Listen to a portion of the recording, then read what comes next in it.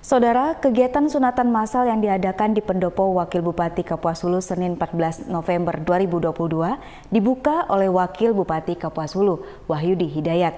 Ia memastikan pemerintah, terutama pemerintah daerah, siap bersinergi dengan seluruh organisasi untuk meningkatkan kualitas kesehatan masyarakat.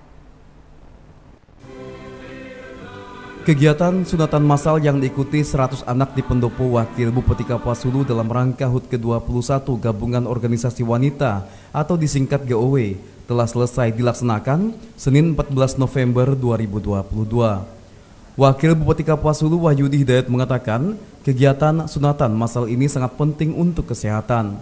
Karena itu ia memastikan Pemda siap bersinergi dengan seluruh organisasi untuk meningkatkan kesehatan masyarakat Kapuas Hulu dalam rangkaian juga Hari Kesehatan Nasional ya Pak Siwa. Selamat Hari Kesehatan Nasional. Nanti kita tetap bersinergi lah semua dari dinas pemerintah daerah maupun semua organisasi di mana kesehatan di Kabupaten Kapuas ini selalu ditingkatkannya.